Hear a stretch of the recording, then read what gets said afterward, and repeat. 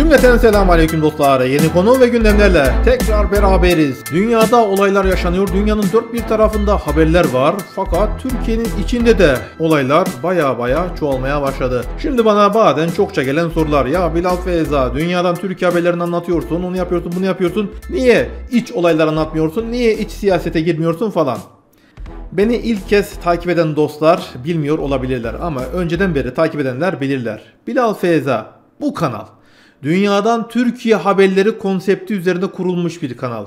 Bu kanal dünyadaki Türkiye nasıl işleniyor? Amerika'da, Avrupa'da, Çin'de, Japonya'da, Almanya'da, Fransa'da, İngiltere'de Türkiye nasıl konuşuluyor? Türkiye hakkında neler söyleniyor? Onları bulup buluşturup burada sizlere anlatmaya ve aktarmaya çalışıyorum. Ve hatta bunun yanı sıra dünyadaki ilginç olaylar, ilginç gelişmeler kritik konular. Bunları sizlere burada anlatıyorum. Ama Türkiye'nin iç siyasetin atıf noktasında haberler yapmıyorum. Zaten bir de o konulara girdik mi ortalık cangar cungar olur. Şurada sizlere küçük bir soru sorayım. Sizlerin vereceği yorumlar benim için önemli. Bilal Feyza dünyadan Türkiye haberleri konseptini bıraksın ya da onun yanında Türkiye'nin iç siyasetiyle ilgili haberlerde anlatsın mı? Yoksa Yok. Senin kanalda biz dünyadan Türkiye haberlerini görmek için geliyoruz. İlginç konuları görmek için geliyoruz. Farklı haberleri duymak için geliyoruz diyorsanız lütfen yorumunuzu, fikrinizi yorum kısmında belirtin dostlar. Dünyadan Türkiye haberleriyle gomçurtmaya, yardırmaya, bodoslama konulara devam.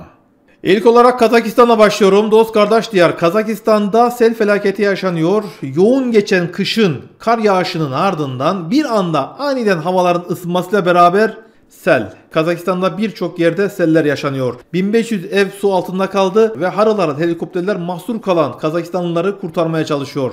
Arkada o anlar içeren fotoğrafları görüyorsunuz. Zaten dünyada bu iklim noktasında büyük büyük değişimler yaşanıyor. Kış kış gibi geçmiyor, yaz yaz gibi geçmiyor. Kürre kafalılar dünyanın iyiden iyiye ayarını kaçırdı. Geçmiş olsun Kazakistan. Kazakistan'dan geçiyorum Kırgızistan'a. Kırgızistan Başkanı Japarov'un özel bir ziyaretçisi vardı fotoğrafı gördünüz. Kim? Sincar, Doğu Türkistan. Çin, Sincan, Uygur Özel Bölgesi valisi Kırgızistan'da. Japarova resmi ziyaret. Görüşmelerde Kırgızistan, Çin arasındaki yeni ticaret yolları, yeni işbirlikleri, yeni adımlar.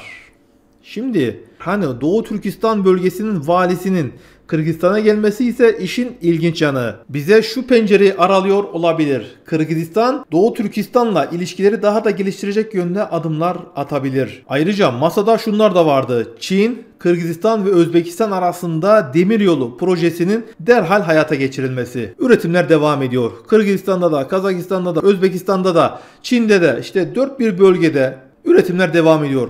Ve hala hazırda bu tren yolları hattı üzerinden Çin Azerbaycan Türkiye hattıyla beraber Avrupa'ya malları daha rahat ulaştırmak istiyor. Türkiye, Türk Devletler Teşkilatı, Kırgızistan bu noktada Doğu Türkistan, Uygur Türkü kardeşlerimize en azından nefes aldıracak projelerle hayat buldurabilir. Böyle bir girişim Kırgızistan üzerinden Doğu Türkistan, Uygur Türklerine nefes aldırabilir. Türkiye, Azerbaycan, Kırgızistan, Türk Birliği, Doğu Türkistan.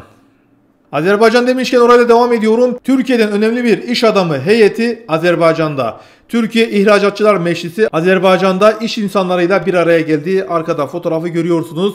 Türkiye Azerbaycan zaten biriz beraberiz. Her anlamda ilişkilerimiz çok daha yüksek seviyelere çıkıyor. Türkiye'de üretilen ürünlerin Azerbaycan pazarında yerini bulması ve hatta Azerbaycan pazarı üzerinden diğer diğer ülkelere ulaştırılması ve dahi Azerbaycan'ın ürettiği malların Türkiye'de yerini alması Canım bizler de kullanalım. Kıbrıs'a da gelsin. Her tarafta Azerbaycan'ın, Türk dünyasının ürettiği malları görelim, alalım. Biz birbirimizle kazanalım. Ve hatta Azerbaycan'ın ürettiği ticari mallar Türkiye üzerinden dünyayla buluşabilir. Böyle bir çalışma çok önemli. Ticarette Türkiye-Azerbaycan arasında birlik geliyor. Elhamdülillah. Özlemen devam. Yunan ordusunda peşi sıra istifalar devam ediyor. Son sürat istifalar Yunanistan'da donanmada, kara kuvvetlerinde, hava kuvvetlerinde istifalar furyası öyle böyle değil. Ve bunu Yunan basını manşete çekiyor. Aynen şöyle diyorlar. Yunanistan'ın para harcayarak, yıllarca masraf ederek yetiştirdiği as subaylar, subaylar, yetişmiş askeri personel görev sürelerinin dörtte biri dolmadan, emekliliğinin dörtte biri dolmadan hepsi mesleği bırakıp gidiyorlar. Sebep Yunanistan'da ordu gücüne, askeriyeye verilen ücretler. Maaşlar çok düşük. Yunan subaylar, az subaylar, Yunan ordusu bu maaşlarla geçinemiyor. istifa ediyorlar. Tamam hükümetiniz Almanya'dan aldığı paraları gidip Fransa'ya yedirmesin. Fransa'dan savaş uçakları, savaş gemileri almasın. Amerika'ya, İsrail'e yedirmesin. Adam olsun da akıllı uslu puslu otursun. Bir avuç Yunan Türkiye ile silahlanma yarışına giriyor. Ulan etiniz değil, budunuz değil. Bak askeriniz de kalmıyor. Neyse bizim için sıkıntı yok. Miçotakis düşünsün. Zirtakilerin bir çılgınlık yapıp Türkiye'ye karşı operasyon bir saldırı başlatacağında biz onlara banliğin büyüğünü atacağız. Tabi o vakte kadar Yunan ordusunda ponçik Yunan askeri kalır mı kalmaz mı? Çok da kalacağı benzemiyorlar. Zaten bizi gören korkudan topuklar totoşlardan vura vura kaçacaklar. Arjantin'le devam ediyorum. Arjantin'den ilginç bir haber. Ne mi? Arjantin askeri okullarında eğitim gören subaylar, az subaylar uzmanlaşma eğitimlerini çok garip bir şekilde alıyorlar. Karacı birlikler, havacı birlikler bilgisayar oyunları üzerinden uzmanlık eğitim alıyorlar. Nasıl ya? bir dakika anlamadık. Arkada fotoğrafları görüyorsunuz. Arjantin askeri okullarında eğitimler, o uzmanlaşma eğitimleri War Thunder isimli savaş gök gürültüsü oyunu üzerinden uzmanlık eğitimi aldığı ortaya çıktı. ne kadar güzel. Adamlar bilgisayar oyunu oynayarak askeri eğitimi bitiriyorlar. Askeri okullardan mezun oluyorlar. Arjantin. Zaten Arjantin'in başında da delilerin mileyi var ya yeni gelen başkan. Tam da onlara yakışır seviyede askeri uzmanlık eğitimi. Lan demek War Thunder savaş oyununu oynayıp subay az subay mezunu veren Arjantin. La o zaman bizim PUBG gençliği huu, onlara or general rütbesi verilmesi lazım. Ukrayna-Rusya savaş devam ediyor, gerilimler devam ediyor ve şimdi Ukrayna'dan bir ilk geldi. İlk kez Ukrayna insansız hava araçları Tataristan'ı vurdu. Evet. Ukrayna kamikaze siyaları Tataristan'da saldırı gerçekleştirdi. Bakın Ukrayna'dan Tataristan'a ta 1300 kilometre mesafe var. Üf. Az uz bir mesafe değil ama Ukrayna kaldırdığı insansız hava araçlarıyla kamikazelerle ta Tataristan'a saldırı gerçekleştirdi. Şu an Tataristan'ın başkenti Kazan şehrinde alarm var. Lan Zelenski aklını başına al. Türkler, Tatarlar biz akrabayız. Kardeşiz. Tataristanlı kardeşlerimize selam olsun. Geçmiş olsun. Devam. Rusya'dan Fransa'ya çok ilginç bir hediye geldi. Putin Macron'a kopmalık bir hediye gönderdi. Bakın şaka değil gerçek. Ne oluyor? Kremlin'den Moskova'da bulunan Fransız Büyükelçiliğine bir kutu oyuncak asker ve oyuncak arabalar. Zırhlı araç gereçler gönderildi. oyuncak. Niye? Macron bu oyuncaklarla, oyuncak askerlerle, oyuncak arabalarla oturup Napolyonculuk oynasın. Ha? Vallahi bakın bunu ben demiyorum. Fransız basını söylüyor. Aha da arkada videosu. Macron'a bir kutu oyuncak asker, oyuncak araba. Al. Hatta, hatta. Heh. Sen ancak bunu yaparsın. Çakma Napolyon, teneke Macron, aha da oyuncak askerleri. Putin Macron'a savaş senin neyine otur oturduğun yerde beygirsiz makaron dedi. Çok güzel. Bakalım Macron Putin'i ne gönderecek? Fransa yakın zamanda Ukrayna'ya yüzlerce zırhlı araç gereç ve Fransız lejyoner askerlerini gönderebilir. Oyuncak askerler bakalım Moskova ne kadar dayanacak?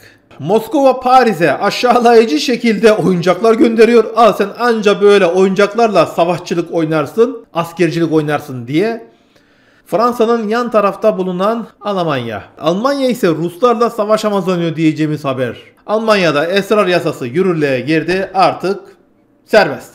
Arkada videoyu görüyorsunuz. Alman gençliği kopuyor. Uhu. Ellerinde ağızlarında orada burada pafküf pafküf pafküf kahalar 1 milyon.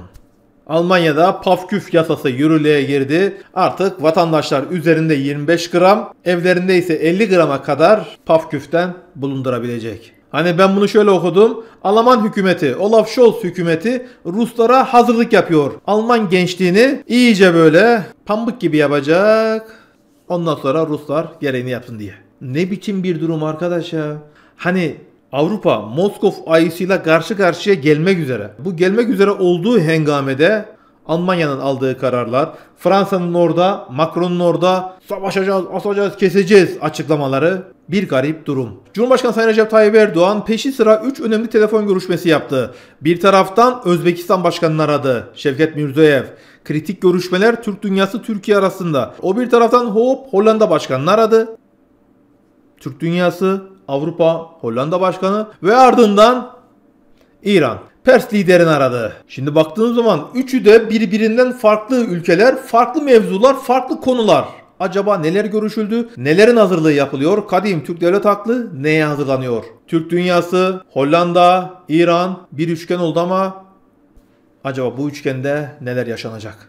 Malezya İsrail'e karşı sert tutumunu devam ettiriyor ve Malezya'da bulunan İsrailler elense, kelepçelendiler, Kodes'e gönderildi. Şu an Malezya polisi, Malezya askeri tüm Malezya'da bulunan İsrail vatandaşlarını harıl harıl arıyor. Ne yapacak? Tutuklayıp hapse atacak. Çünkü Malezya'da bulunan İsrailliler büyük bir tehlikeli girişime hazırlandığı iddia ediliyordu. Evlerinde yapılan baskında, arabalarında yapılan incelemelerde birçok silah ve mermi ve haritalar ele geçirildiği iddia ediliyor Malezya basını tarafından. Önemli.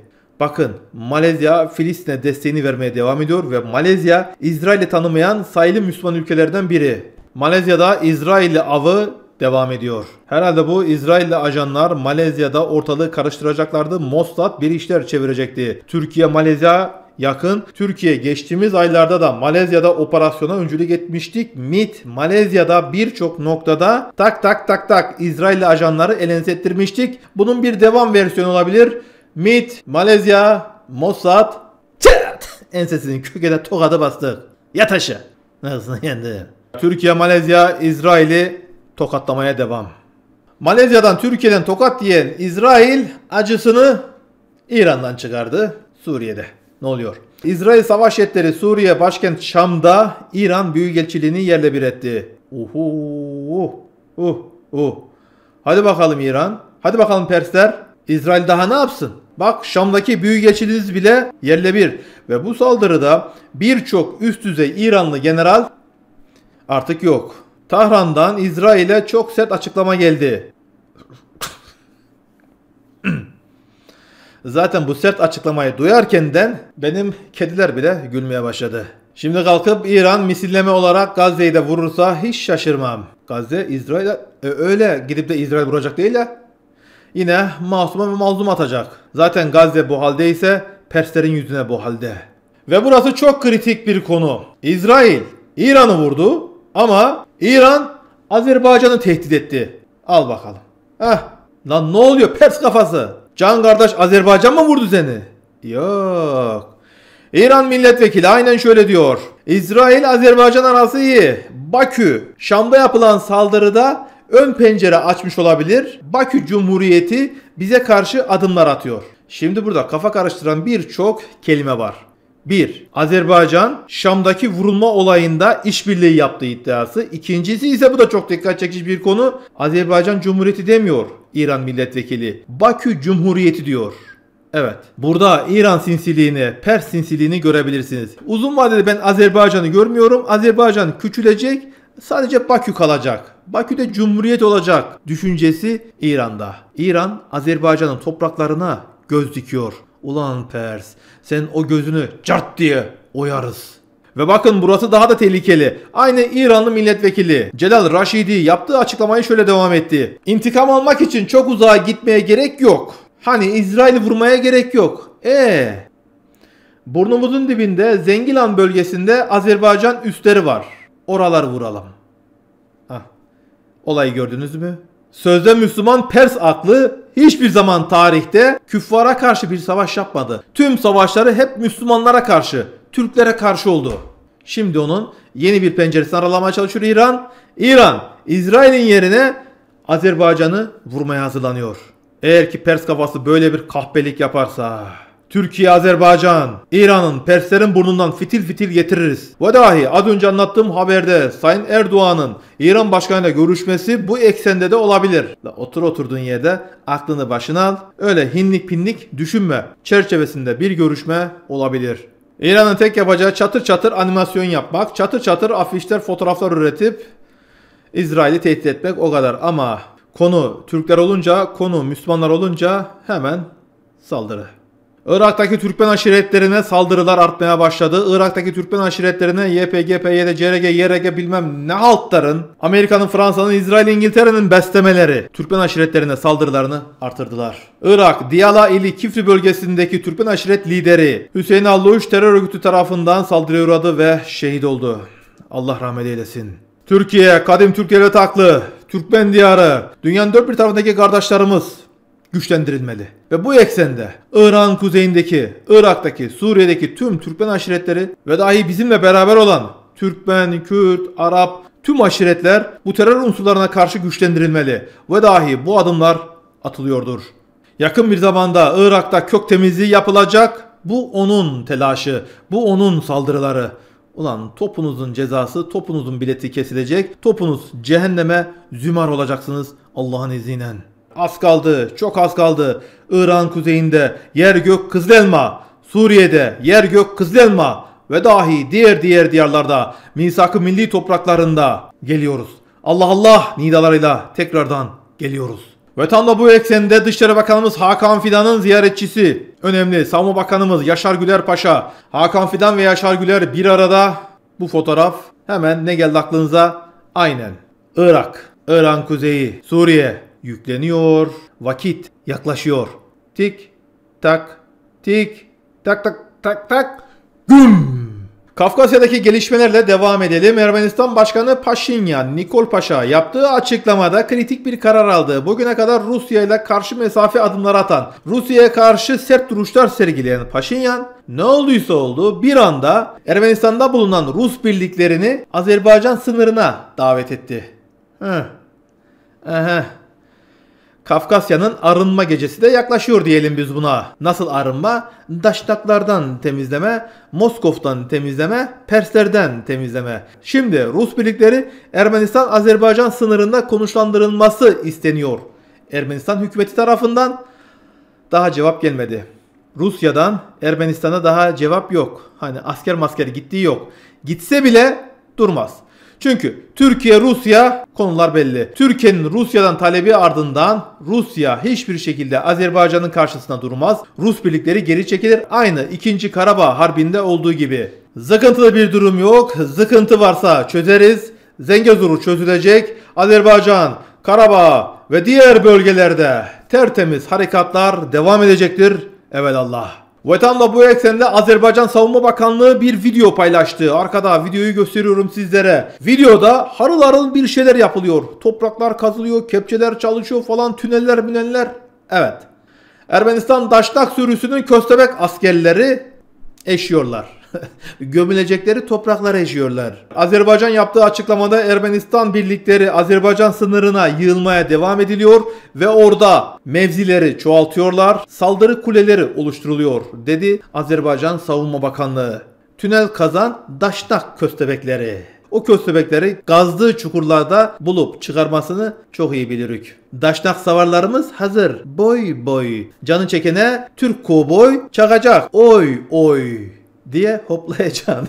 her tarafta bir yangın yeri, her tarafta bir gerilim, her tarafta bir ateş, her tarafta dumanların yükselmesi. Dünya sıkıntı, sıkıntı. Ne diyelim? Devletimiz var olsun, milletimiz sağ olsun. Allah azinecip milletimizi, dünyadaki tüm masum ve mazlumları bir de dost ve kardeş diyarları bu şeytanların şerlerinden korusun. Bizleri, Türkiye'mizi, Türk dünyasını her daim yücelsin ve dahi kahraman Türk ordusunu daim muzaffer kılsın. Amin, amin, amin. Ey Ermenistan, Çukur Dagastan, Tünel de etsen, Köstebek gibi orayı burayı eşelesen de Zengezur alınacaktır inşallah. Ve bir paralel gelişme daha Nahçıvan'da. Ermenistan Daşnak sürüsü Nahçıvan'daki Azerbaycan askerlerine saldırı gerçekleştirdi. Sıkıntı yok. Ama bu taciz girişimi bile büyük bir olayların başlangıcının işareti olacaktır. Nahçıvan'da hem Azerbaycan ordusu hem de kahraman Türk ordusu oradayız. Biriz, beraberiz. Şimdi 5 Nisan'da Brüksel'de görüşme zirve yapılacak. Kim tarafından? Ermenistan, Avrupa Birliği ve Amerika arasında Brüksel, Kafkasya'da barış görüşmeleri yapılacak. Azerbaycan olmadan, Türkiye olmadan, Rusya olmadan. Ee, sadece Ermenistan, Avrupa Birliği ve Amerika'nın bu üçlü görüşmesi 5 Nisan'da yapılacak. Ermenistan tarafı 5 Nisan'daki görüşme öncesi Azerbaycan tarafını kışkırtarak Azerbaycan'dan bir saldırı bekliyor. Hani Azerbaycan bizi vursun. Bizi vursun ki biz haklı çıkalım. Bak biz sakin sakin dururken e Azerbaycan ordusu bir anda bizi vurmaya başladı, ezmeye başladı. Yetiş Amerika, yetiş Avrupa, yetiş Fransa, İngiltere mesajları ve sinsiliği. Daşnak kafalılar Amerika'yı, Avrupa'yı Ermenistan'a sokmaya hazırlanıyor.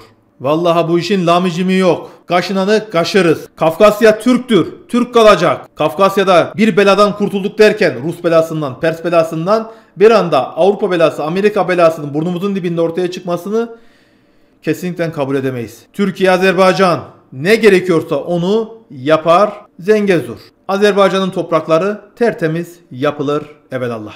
Ve geçiyorum Johnny'ler diyarına. Amerika kırmızı halıları serdi. Sayın Erdoğan'ı bekliyor. Amerika Türkiye zirvesi 9 Mayıs yaklaşıyor.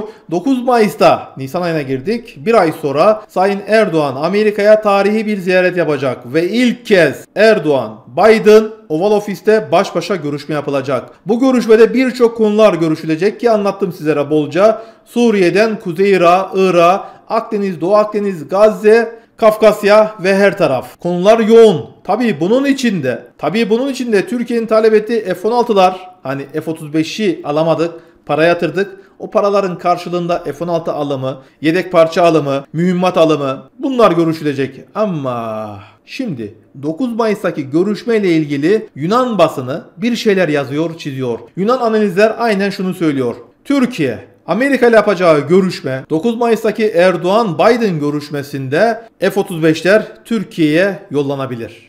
Hı? Nasıl? Aynen şöyle.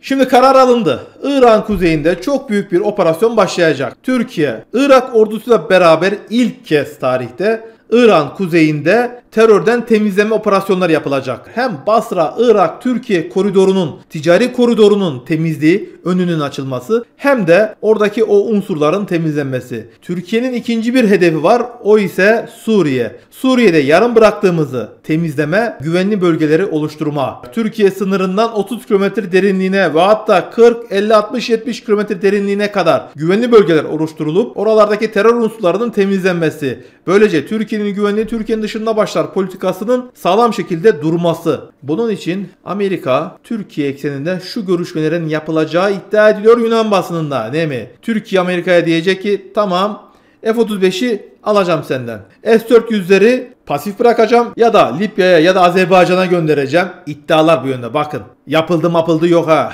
Ben Yunan basının iddiasını söylüyorum. Senden de F-35 alacağım ama sen de Amerika, Johnny'ler Suriye'de karşımda durmayacaksın. He? Yani ne olacak? Kavvat Amerika beni bıraktın kaçtın Türkler geldi. Olaydın vuku bulması olması. Yunan diyor ki Amerika YPG, PYD, CRG, YRG'yi tekrardan satacak. Türk ordusu Irak'ta da Suriye'de de topyekün devasa bir harekat başlatacak. Ve ayrıca Türkiye farklı bir pencereden de kendisini korumaya almış olacak. Yaklaşan Dünya Savaşı 3. Dünya Harbi'ne Türk devlet aklı hazırlanıyor iddiaları nasıl? F-35'ler biliyorsunuz nükleer bombalarda taşıyabiliyor. O da kendi güvenliğini sağlamak için nükleer bomba taşıyacak yönde Amerika'dan F-35 siparişi verebilir.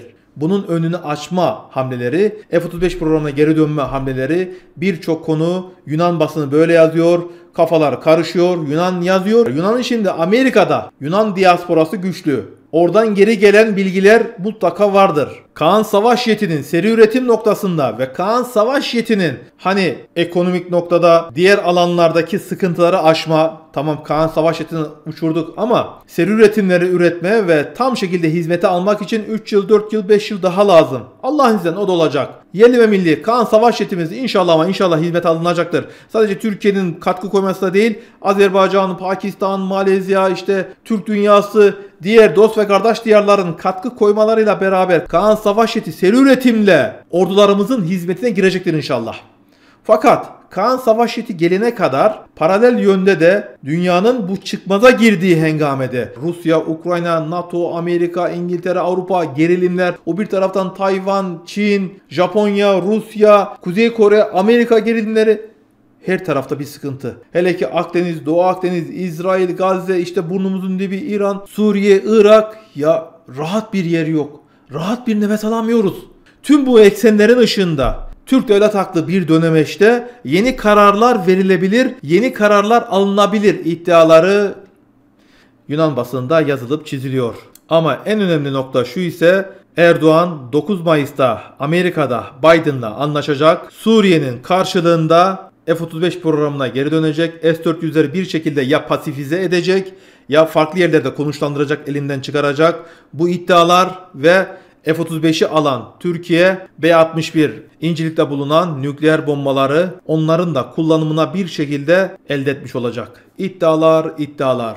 Amma belakin. Onlar onu demiş, bunlar bunu yapmış, şunlar şunu demiş. Kim ne derse desin, kim ne yaparsa yapsın. Bizler Türk milletin hali çıkarlar noktasında kadim Türklere taklı kararlar almaya, Amerika'yı, Rusya'yı, Çin'i, Avrupa'yı, İngiltere'yi, Fransa'yı, onu bunu şunu sevsek de sevmesek de işbirliği yapmaya ama menfaatimiz oranında işbirliği yapmaya, menfaatimiz bittikten sonra sen sensin, ben benim yolunda yolumuza devam etmeye ve dahi bizler Türkiye, Azerbaycan, Türk dünyası, Türkiye'yi seven dost ve kardeş diyarlarla ilerlemeye, büyümeye devam edeceğiz inşallah. Çünkü zalim zalimliğini bitirmez, zalim zalimliğini bırakmaz. Bu dünyada haklıysan güçlüsün kuralı maalesef yok. Bu dünyada gücün kadar hükmün var, gücün kadar haklısın kuralı geçerli maalesef. Onun için Türkiye güçleniyoruz. İlimde, bilimde, fende, teknolojide her alanda bir ve beraber ilerlemeye, büyümeye, üretmeye devam. Ve bu eksende yaz ayı çok sıcak geçecek. Mayıs, Haziran sıcak. Suriye, Irak çok sıcak. Ve biz Durmadık, durmuyoruz, durmayacağız. Doğru bildiğimiz yolda koşar adım ilerlemeye devamı. Yolumuz ilahi kelimetullah, hedef. Kızılma. Bu bağlamda Allah kahraman Türk ordumuzu her daim muzaffer eylesin. Allah Türkiye'mizi her daim yücelsin. Yeni konu ve gündemlerle tekrar görüşünceye kadar inşallah. Allah'ın en güzel rahmeti, selamı, bereketi hepimizin üzerine olsun sevgili dostlar. Allah'a emanet olun.